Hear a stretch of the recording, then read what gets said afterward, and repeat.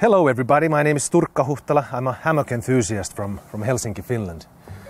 I had an exclusive chance to test the all three new Colibri travel hammocks from La Siesta. Let's see how these babies work.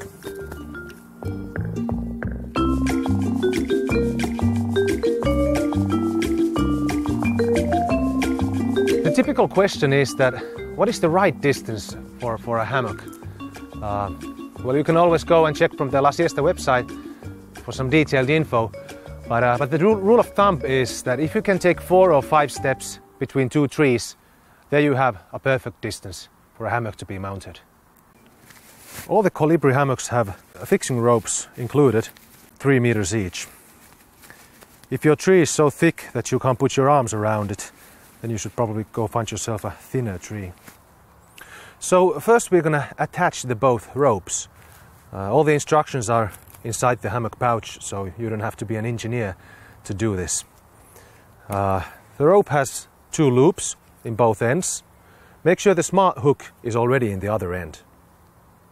Then you have to thread the smart hook through the loop like this, and the rope makes a knot and tightens around the tree.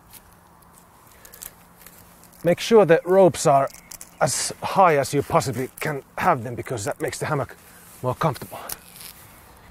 Now I'll show you why I really like the La Siesta designed smart hook. Uh, the hammock has, has these small loops in both ends and you need to put the rope through it and then attach it to the, to the smart hook like this. The smart hook can then be used to find the perfect height for your travel hammock.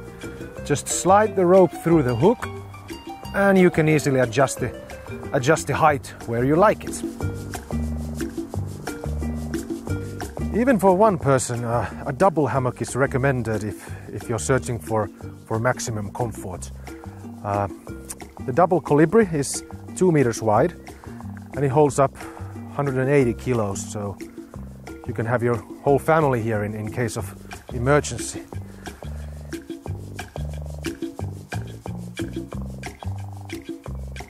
One more thing. Uh, all the colibri hammocks can be also used as a, as a beach blankets.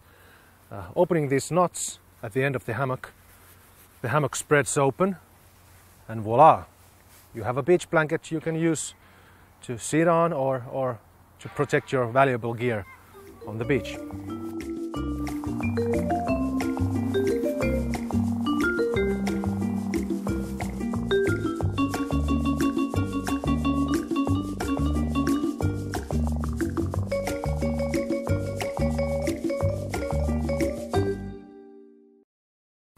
Sell your bed, travel the world, and find two trees. Hmm, I wonder what my wife thinks about it.